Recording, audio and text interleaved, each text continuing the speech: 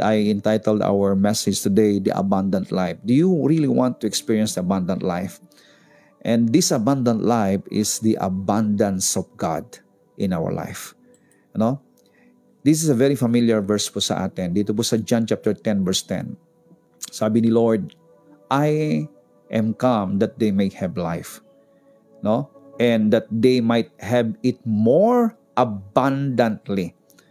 Of course, dun po sa unang uh, uh, bahagi po ng John 10.10 is uh, dumating po ang kaaway no?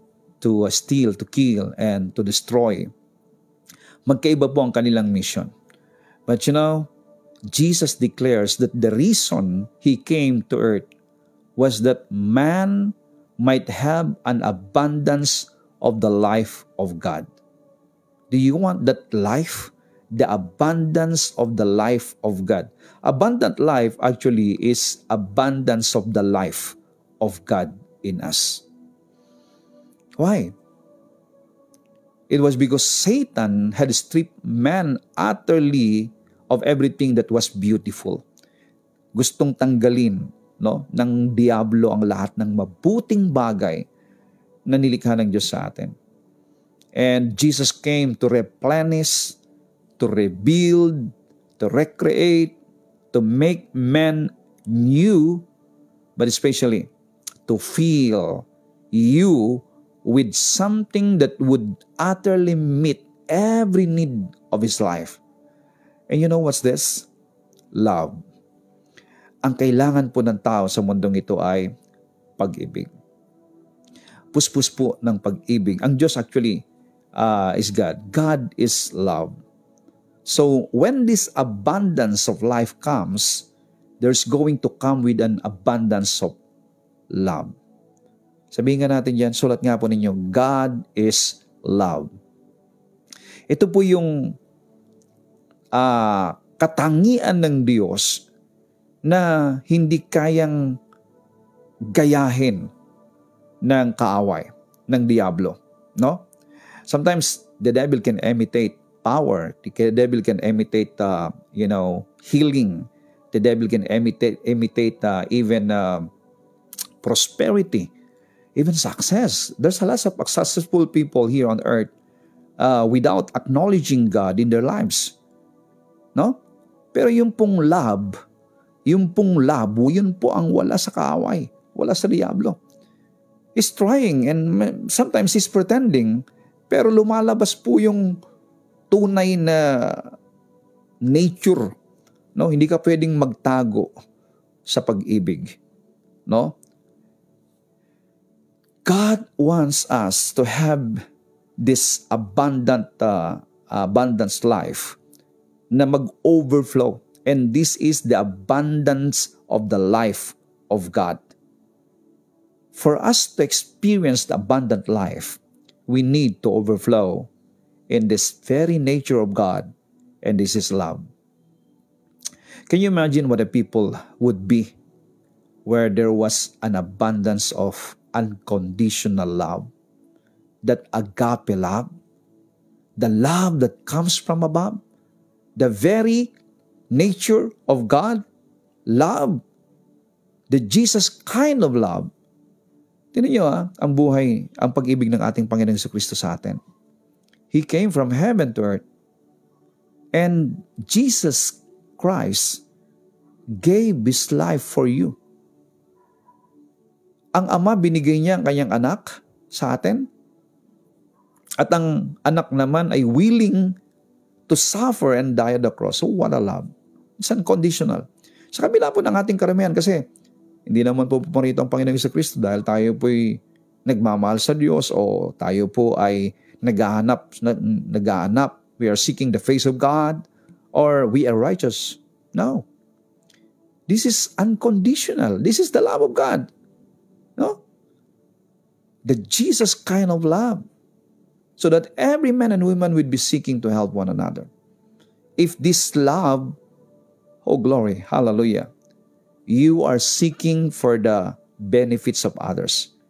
You are, yung hinahanap mo ang kabutihan ng iyong kapwa. You are praying for the goodness of your fellow, of your neighbor, if you have this kind of love. Can you imagine a church that was empty? Big sabihin eh, hindi walang hindi yung walang laman kundi ang mga miyembro ay umaalis at ipahayag ang kabutihan ng Panginoon, ang pag-ibig ng Diyos. Love would go out hunting for needy folks. Kung ang pag-ibig na ito ng Diyos ay mag-manifest at patuloy na nagmamanifest sa ating buhay, I tell you, lahat ng bagay na meron tayo ay ating pong maipapagamit sa Lord. Lahat ng mga sasakyan natin talagang uh, mapupuno yan ng kaluluwa para magamit para sa gawain because the very heart of the Lord is soul. Ang sigaw po ng puso ng Diyos ay ang mga kaluluwang ito sa ating paligid, lalo digit sa ating makamag-anakan at mahal sa buhay, ay maranasan nila ang pag-ibig ng Diyos. And we are carrying out, we are carrying this nature of God. When we get born again, we have this very nature of God. You have the very nature of God. And what's that?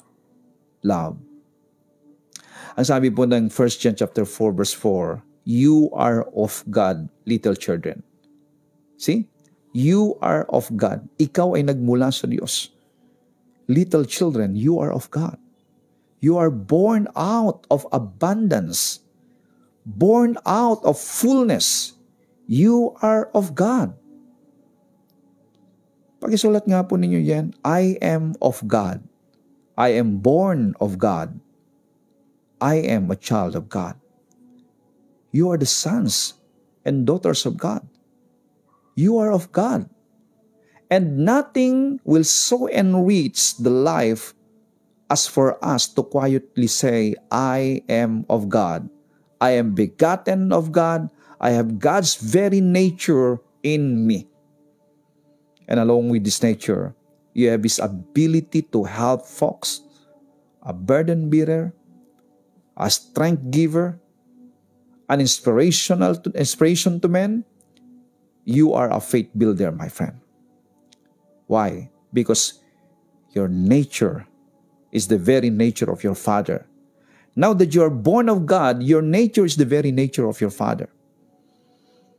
At ang abundance of life is to live it out. This very nature of God in us, my friend. Alam niyo kung bakit marami pong mga nagkakaroon po ng uh, sigalot o pag-aaway-away o pagkasira-sira. Because they are they are giving access to the devil of you know that negative emotion zealous na you know, yung yung jealousy yung competition or I am better than you mas malalim ang kaunawaan ko kaysa sa iyo kapatid ang mas malalim na may kaunawaan po sa salita ng Diyos mas malalim po ang kanyang pag-ibig ang mas may malalim na revelasyon tungkol sa ginawa ng Panginoon sa Kristo, mas malalim po ang kanyang kaunawaan sa tao. Mas malalim ang kanyang pag-unawa sa kakulangan ng tao. The more that you have a deep revelation of who Jesus Christ is, the more that you are living in God's love, the more that you are loving people, the more that you overlook their shortcomings, Katulad po ng Diyos, minahal po niya tayo sa kabila po ng ating kakulangan at sa ating pong mga weaknesses. This is an overflow of love or overflow of abundant life. You know, God touches your very innermost being and floods you with His natural ability and grace and love. Again, 1 John chapter 4 verse 4, You are of God You are of God, you are not of the devil, you are of God, little children, and have overcome them, the world. You have overcome situations here on earth. You know, the man of God is masterful. You are a man of God. He is a conqueror. You are Hupernikos, ika nga. Beloved, let us love one another. Sabi po ng 1 John 4, 7 and 8, Let us love one another, for love is of God. Saan daw po galing ang pag-ibig? Love is of God. And everyone that love is born of God and know God. Ang sino mang nagmamahal ay kilala niya ang Diyos. Siya'y nagmula sa Diyos at kilala niya ang Diyos. Ayan. He that loveth not, knoweth not God, for God is love. Kaya yung pong matatalino dyan, ano, na so-called napakalalalim ang kanilang revelasyon na pang na ginagawa nila na para bang hindi mo na ma-reach, no? And then they are looking, uh, you know, they're putting down uh, somebody else. Kapatid, napakalinaw po yung sinasabi po rito ang sino mang hindi nagmamahal ay hindi niya kilala ang Diyos. Sapagat ang Diyos ay pag-ibig. At ang sino mang nagmamahal ay nagmula sa Diyos. Again, you are of God, little children. You are of God. And because you are of God, you have the very nature of God. Oh, ulit-ulitin po nyo yan you must know who you are. I am of God. I am born of God. I am a child of God. I have the very nature of God, and that very nature of God is love. Therefore, you are living in love. And I tell you that abundant life will overflow. You become a blessing, a strengthener, a strength giver, an inspiration to men You are a faith builder if you know who you are. If you know that the very nature you have right now as a born of God, as a born again, is love, then you are an inspiration to men. You are an encouragement to men, to everybody. You must know who you are. And this is abundant life you have become a partaker of the love nature of the Creator. You are tied up with omnipotence, with power. Ayun know, the greatest power is love. Ang pag-ibig ay kayang pasukuin kahit ang taong galit na galit sa kanya. Ang pag-ibig ay kaya niyang i-overcome ang lahat ng sitwasyon. And that is love. Kaya nga the greatest of all is love. And this is abundant life. Abundant life is living out the very nature of God in you. Kapatid, again, you are a partaker of the love nature of God. You are a partaker. You are you have that very nature. You are tied up with omnipotence You are tied up with very effulgence of God, meaning the ability to shine bright, brightly. Nakatied up ka doon po sa kapangyarihan ng pag-ibig ng Diyos at meron kang abilidad na magliwanag upang mai-wipe out ang dilim sa buhay ng mga tao. You have His strength. You have His grace. You have God's ability. You have Him. You are not seeking a blessing from Him. You have the blessing in you right now. Think what if you, no, it would mean for you to have the consciousness of His presence in, in you all the time, my friend. Kaya nga po napakasarap talaga that in your moment with God, you're thinking of His love for you, and you're thinking that you also have the same nature with God. Mga kapatid, dahil ikaw ay anak ng Diyos, you have the very nature of God. Therefore, you can love. You can love. Now, is there anything you cannot do with Him abiding in you? God's very life, my friend, abides in you. Sulat nga po ninyo dyan. And believe this. Write it down. God's very life abides in me. Alam niyo ba na yung buhay ng Diyos ang siyang nananalaytay sa atin? Ang buhay ng Diyos ang siyang buhay natin. Ang nature ng Diyos na pag-ibig ay nasa sa iyo in the Spirit. So kailangan mabuksan ang ating kaisipan upang nang sa ganon, yun po yung pinaka, alam nyo, our mind is the gate bulb so that our spirit being, every good thing that is deposited in our spirit and the very nature of God in our spirit will come out into our soul part, kailangan po mabuksan ng gate bulb. At ang pinaka-gate bulb po dyan ay ang ating pong isipan. And you know, it's hard, not actually hard, it's impossible to live it out, that very nature of God in us without surrendering our being, our mind to the Holy Spirit. Kaya nga po, that's the reason why sinabi ni Pablo, pray without ceasing. Para sa akin, ang praying without ceasing is that always focusing your heart to what God has done for you and allowing the Holy Spirit to speak through you all the time. Thinking of what the Lord has done. Kasi walang ibang ipapatotoo ang banal na Espiritu mga kapatid kundi yung pong tinapos na gawa ng Panginoon sa Kristo ay napakalalim po ang mensahe ng ginawa ng Panginoon sa Kristo doon sa krus ng Kalbaryo.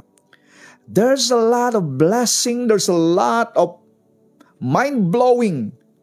Actually, there's no word that can explain. Only in your spirit can understand what the Lord has done. Although meron pong mga salitang namumutawi sa labi po natin, pero para sa akin hindi po sapat yung pong mga mga salitang yon. But you know in your spirit that there is a spirit of the Lord, the Lord testifying in every word coming out of my mouth what the Lord has done for us. Na kapag nabuksan po ang ating kaisipan, oh glory to God, we can live it out the abundant of life. And that is the life, the abundance life of God in us. So God's very life abides in you. Sabi po ng Colossians chapter 2 verse 9 and 10, 9 to 10, In Him, in Christ, dwelleth all the fullness of Godhead bodily. Wow. In Christ dwells all the fullness of the Godhead bodily. And you are complete in Him. You are complete in Christ, which is the head of all principality and power. Could you imagine that? You receive Christ, and Christ dwelleth in you. Christ seated down at the throne of your heart. And Christ is your identity, Christ is your life. Christ is your righteousness. Christ is your very nature. Wow, glory to God. Now, and in Christ dwelleth all the fullness of the Godhead bodily. And because you are in Christ, my friend, you are complete in Him. Can you write it down? I am complete in Christ. I am complete in Christ. If you feel like sometimes that uh, you are incomplete and you are seeking for something that, uh, you know, to uh, feel your empty feelings. Kasi kapag meron pong empty feelings ang isang tao, she or he is looking for something that satisfies him. Kapatid, if Jesus Christ is your completeness, He is your satisfaction. Siya ang satisfaction ng buhay mo. Kaya nga po, I have come, sabi ni Lord, to give them abundant life. Magkakaroon ka ng abundant life kapag si Kristo ang kakompletohan at satisfaction ng buhay mo. Eh ano ba ba hanapin natin sa mundong ito? eh na kay Kristo nga ang kapuspusan ng Diyos. Pag sinabing kapuspusan ng Diyos, everything in heaven and on earth is in Him. And of course, it is His delight to give all these things to you. Kaya nga po, wala na tayong magaga, ma, ma, mahihiling pa kung maintindihan po natin yung sinabi ni Lord kay Abraham. I am your great reward, Abraham. Hallelujah. If the Lord is your great reward, ano bang hahanapin natin mga kapatid? I love that. God is your reward. Nothing, nothing else in this world is more important. If you believe that God is the source of everything, He is the source of life, He is the source of every good thing, He is the source of all things. And when you know that God is with you and He is your life and He loves you so much, then nothing to worry. Actually, if you're to meditate on this, my friend, we could say that, Lord, nothing more and nothing else that I desire for, but you alone, Lord. And when you believe in all these things, walang bagay na wala ka nang hanapin pa. Everything is complete. My friend, carefully note it now. In Jesus dwelleth all the fullness of the Godhead bodily. Meaning all the ability of God was in him. All the love of God was in him. He never gave anyone the sense of emptiness, lack of ability, or sense of unreadiness. He was always ready to meet every emergency. Ano mo bang emergency na kailangan mo? The Lord is always ready to meet every emergency in life. So you have to think of His think of His utter completeness, fullness, and ability in every place. We are made full with His fullness. Wow. You are complete with His completeness. You are full with His fullness. It did not came or it did not come to you because you fasted, prayed so long and so hard to get it. This fullness of God, this completeness, and this favor upon favor, all the good things and the very nature of God's love is in you, came upon you not because you do something good or you fasted so hard and prayed so hard just to get it. It came to you all through grace. Lahat ng ito'y dumating dahil sa biyaya ng Diyos sa pamamagitan ng ating Panginoong Kristo. Tingnan niyo po yung biyayang ito ng Panginoon. Ano? Si Pablo, when Paul was persecuting Jesus, You know, paano ba pinersecute ni Pablo, ni Pablo? Paano niya pinersecute si Jesus? Kasi sabi po ni Lord doon sa Acts chapter 9 verse 4, Pablo, Pablo, or Saul, Saul, why you persecute me? Bakit mo ko inuusig, Pablo or Saulo? You know, pinersecute nga ba ni Pablo ang ating Panginoong Yesus? When Paul bruised, bruised a person, a single branch. He was also bruising the vine. Nung pinersecute ni Pablo ang mga mananampalataya, he is he was persecuting the vine. He was persecuting Jesus Christ. Never was it more beautiful and more clear nung sinabi po ng Panginoon, I am the vine, you are the branches. So sabi po niya, Tingnan nyo ha. The Lord is the vine and we are the branches. At ang sabi niya kay Pablo, Saul, you have been bruising, cutting, and mangling the branches. You've hurt the vine. So, tingnan niyo yung ginawa ni Pablo. Pinersecute niya ang mga mananampalataya.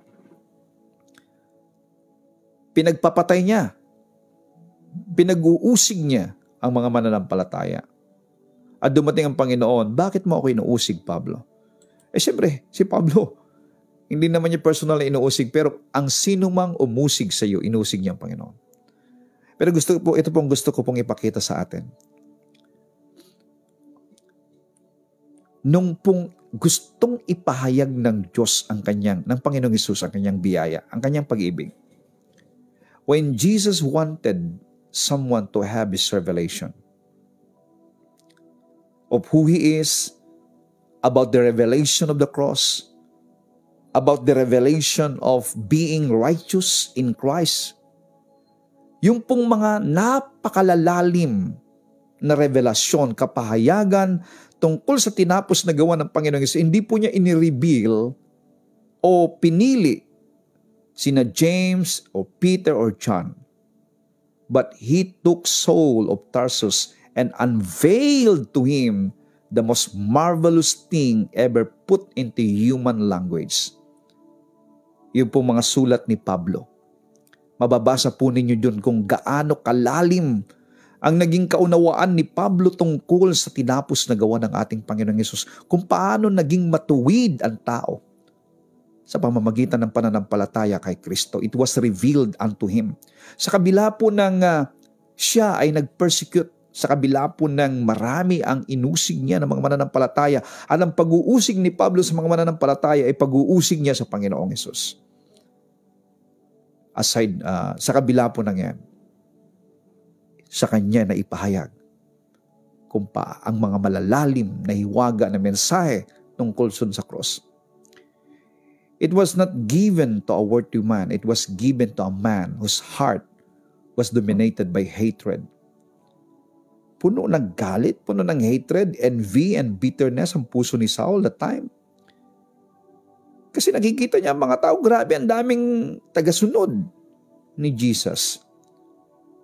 Puno ng envy ang kanyang puso, hatred. Kaya po niya pinagpapatay, pinag-uusig ang mga mananampalataya.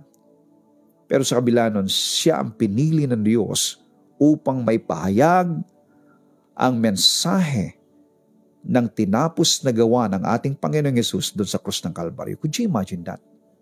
Wow, that is grace. The Father took this man and filled him with his fullness. It is all of grace, my friend. Everyone can be full with his fullness. Of his fullness, of his love.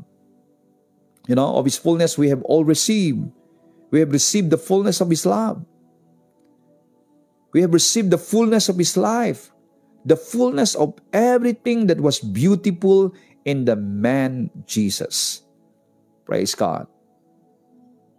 Kaya kahit gaano ikaw kasama, maaring meron kang nagawang kakulangan o maraming kang nakikitang disqualification sa iyo. But you know what? The Lord wants to reveal unto you how much He loves you.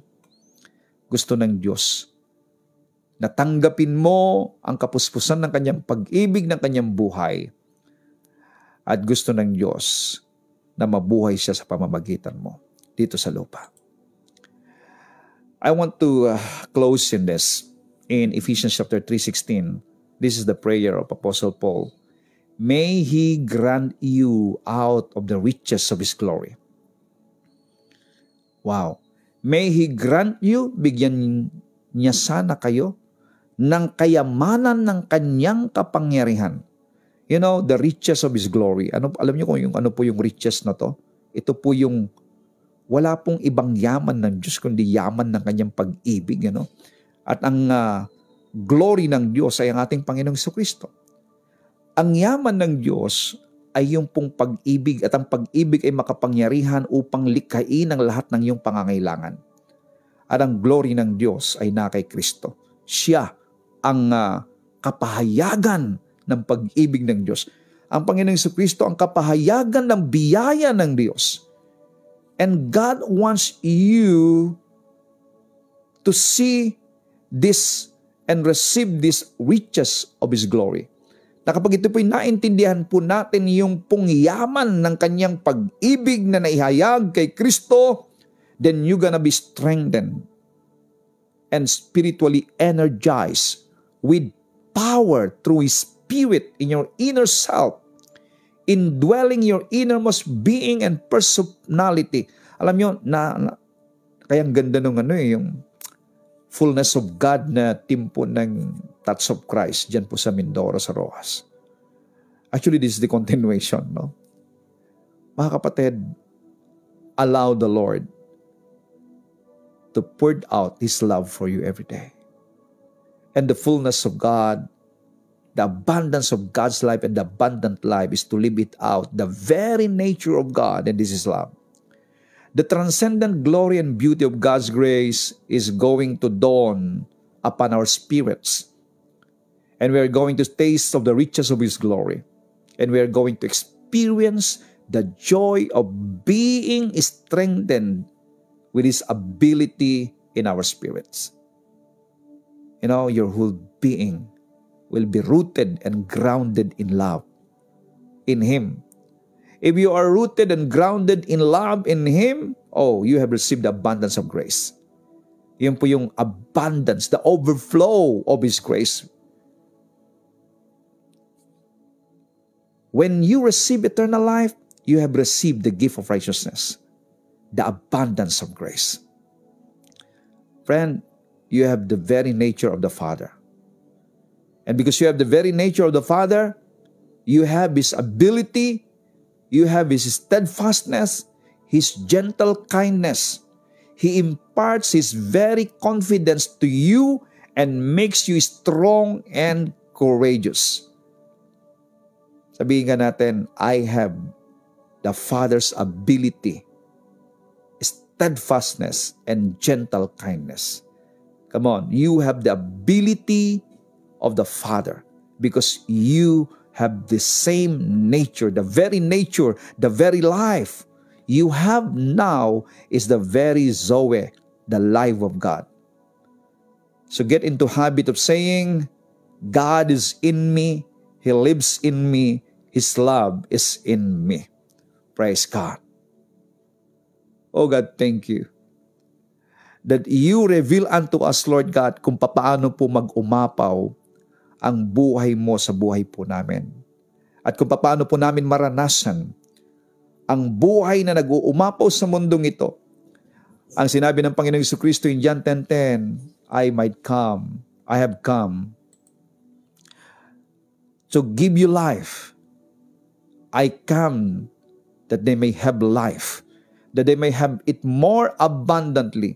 And this abundant life, if no other, is no other than the overflowing of the manifestation of your love in our life, Father. I release this, Father God, to everyone. Let everyone, Father God, be empowered with your love, which is the fullness of you, Father. Sabagat ang pag-ibig ang nagtulak upang bayaran ang ating mga kasalanan. Ang pag-ibig ng Diyos ang nagtulak upang tayo'y kupkupin at gawing kanyang mga anak. Ang pag-ibig ang nagtulak upang lahat ng ating mga pangangailangan ay well provided. At praise God, that very love of God, that very nature of God is in you, my friend, because you have the same nature with your Father in heaven, because you are of God, you're born of God. So go and demonstrate love of the Father and overflow let that abundant life overflow in you to your whole family and even to your neighbors and to your community. I release the power in Jesus' name. Amen.